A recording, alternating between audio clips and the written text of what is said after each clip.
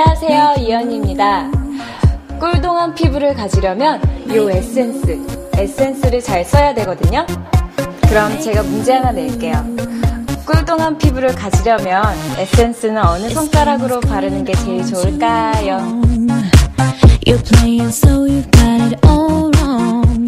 1번 검지, 2번 중지, 3번 검지. 자, 어느 손가락일까요? 정답은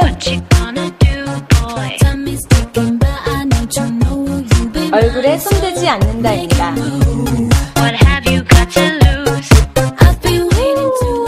이렇게 얼굴에 직접 뿌려주면 영양분 손실 없이 바로바로 흡수가 잘 되거든요. 에센스 꼭 얼굴에 뿌리세요. 그럼 전 촬영하러 갑니다. 안녕.